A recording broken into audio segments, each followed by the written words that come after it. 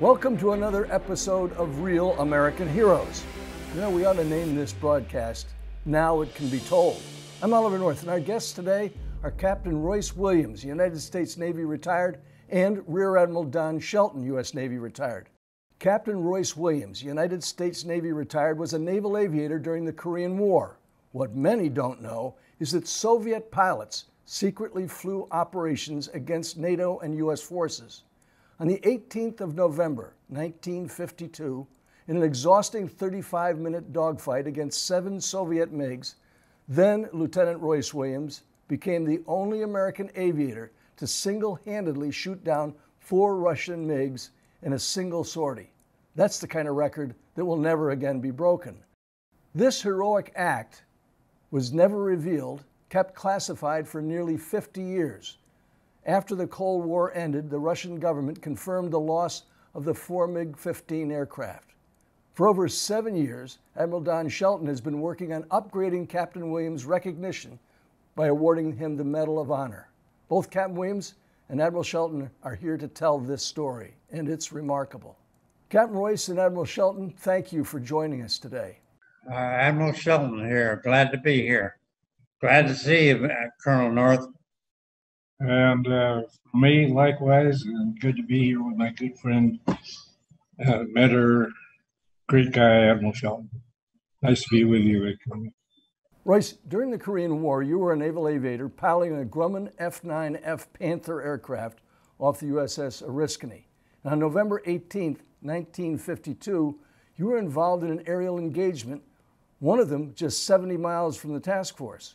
Tell us about that incident. Uh, second flight of my day, I was going on a combat air patrol. Very bad blizzard weather uh, where the task force was, uh, through 400 feet to 12,000 feet, uh, solid snowing. Um, a group of four of us, I was the lead of this the section, second group.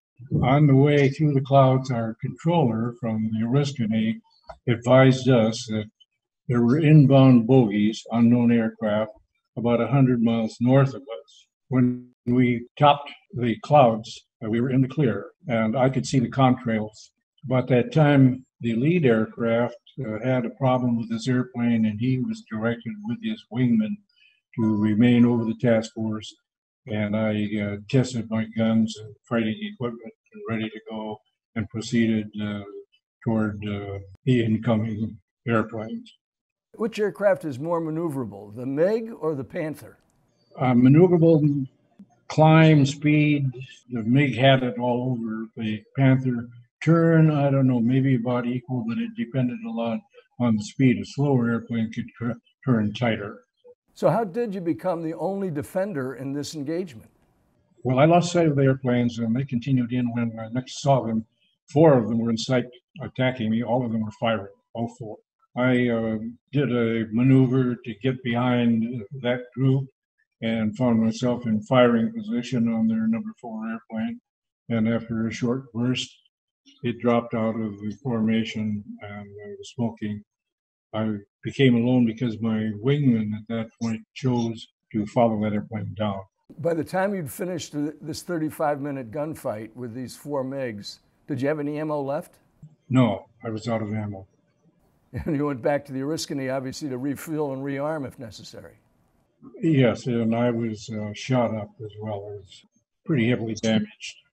I've seen one report, and I think, Admiral, you may have prepared it, that there were over 260 holes in his aircraft. That's correct. When you land on the deck of the Oriskany, what was the first thing that happened when you got back on the aircraft carrier? I was a little exhilaration, but uh, they were at combat uh, ready, and so uh, no lollygagging. I went immediately down to the ready room. So when you get to the ready room, what was discussed about this mission? Well, I was totally surprised because that's our general quarters station. So all the pilots that weren't flying were there in the ready room in their chairs. And nobody said anything because the intelligence officer who was going to do the debriefing had them all swear that they wouldn't say anything until he was through with his business. So we sat there a long time because he wanted to first talk to the lead of the flight, who was not engaged and the last one to land, and ate up a lot of time so that the yelling from the intelligence center that Washington wanted the information right now became louder and louder, and uh, meanwhile, no uh, interrogation. So when the last the plane landed, who again was not involved uh, in the fight, uh, got there and he denied. So he went through that to the next, next wingman who uh, was with him, and then to me. And by that time, uh, I had barely enough time to tell him about the initial engagement, and he had to go off and answer the uh, the cries from Washington, and so uh, he knew very little about it except what he may have heard over the teletype uh, in our reading room from the relay from the CIC uh, Combat Information Center. How many folks actually knew that at that time we were able to intercept communications from the Soviet Air Force and the Soviet military and literally engage their forces? How, how, how wide was that knowledge at the time? It wasn't known at all. It was a, it was a new capability, and uh, this was a test with our group aboard the Helena cruiser right off the coast no one at my level had any idea that we had such capability. So, what does Admiral Briscoe, about a week after the engagement, what does Admiral Briscoe do? It was the commander, if I recall correctly, the naval forces in the Far East. And Admiral Briscoe wants to make sure that this word does not get out. What does he tell you, Captain? Well, I was ordered to report to him. I uh, guided to his room. He closed the door and he said, Now, what I'm about to tell you, you can never tell anybody ever. And then he complained about the report that went out from the ship, the Oriskany, which followed the debrief that the intelligence, officer made up. And so he said, you know, where did he get that wrong information? I hadn't seen the report. I didn't see it until maybe 60 years later. So I didn't know what he was talking about. But anyway, he told me that we had a uh, group of NSA new capability, people with their um, Russian speaking uh, personnel on the ship following these MiGs from the time of takeoff until he wanted to be to know until the remnant came back and tell him that he got at least three. Nobody else knew that that I know. And I never told anybody for years and years. I avoided talking about the issue at all because I might get tripped up and say something that wasn't authorized. So, in the aftermath of an event like this, what would be the normal process for recognizing the, her- the heroism and the accuracy of the skill set that were demonstrated in it? What would, what would the award have been? A dis- Distinguished Flying Cross or Medal of Honor? Well, we had a distinguished commanding officer of the ship that had a couple of Navy crosses. And uh, I got a call from the bridge where the captain holds forth. He congratulated and he told me that uh, this award merited the uh, Navy Cross. Of course, he didn't know the facts, nor did our intelligence officer. The idea becomes instead of a Navy Cross, instead of a Medal of Honor, we just got to keep this secret and keep that secret for decades afterwards. Yes, sir. Well, what, what's the recourse now? I mean, obviously, documents have now been modified to acknowledge what happened.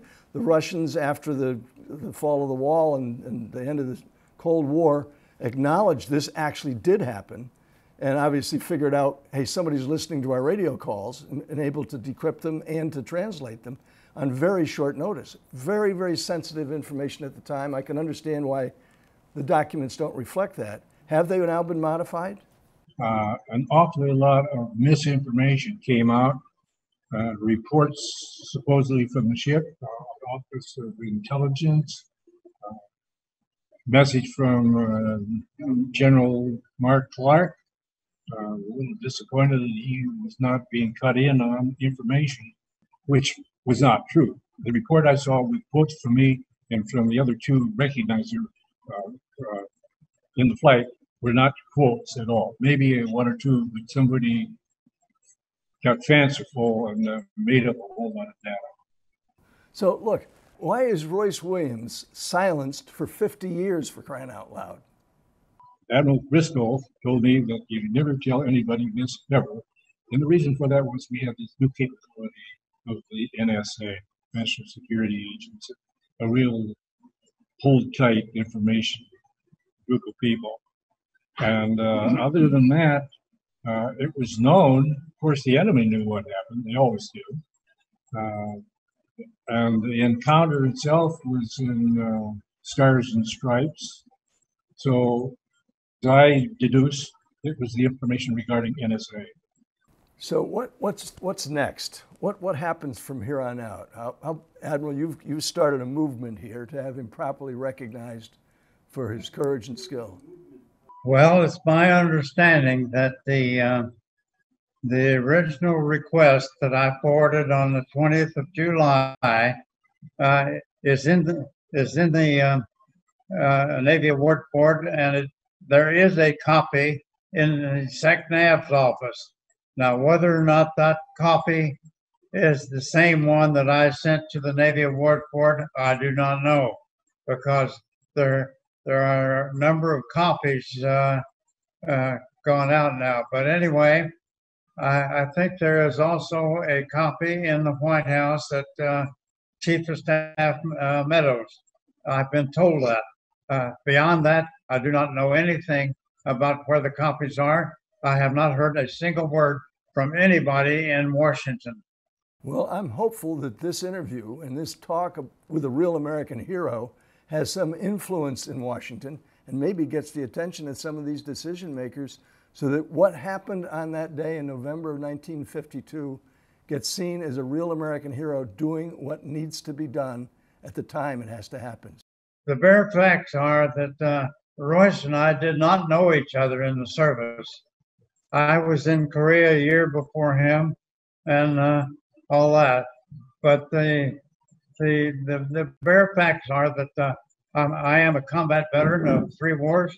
I think I do know the difference between those that do and those that don't. Uh, Royce was one that certainly did. I think that uh, uh, the, the, the major point here, here is that uh, uh, th- this was a this was a 35 to 38 minute uh, combat engagement, probably the longest one on history. but also the, the results were with four down, possibly five down. Uh, this was the, uh, the, the is, is simply unmatched uh, either in Korea, in Vietnam, or since then. The reason I got into it was that uh, when when they when they finally broke the silence on this thing, uh, I, a, a fellow uh, friend of ours, uh, Rear Admiral Fred Lewis had Royce down Pensacola for uh, making a speech about it. And uh, I didn't, I was not at that uh, Pensacola, but uh, uh, sometime later I, I read Royce's speech and I said, man, Royce has been screwed over. He's one of those ones that, that, that did and did and did, and he didn't get any credit for it to speak of. So I uh, I went I, I went to Royce one day and I asked him if it was okay if I uh, took this on as a as a mission. He said yes. So that's about seven and a half years ago. So I took it on and I have worked on it steadily ever since then. And I'm glad I did. Well, I am too, and I admire you for doing so. And folks, if this American Heroes broadcast about a real American hero has been informative and encouraging and inspiring, take time now to subscribe. Until next time, remember, Semper Fidelis is more than a slogan for U.S. Marines. Always faithful is a way of life. Gentlemen, thank you.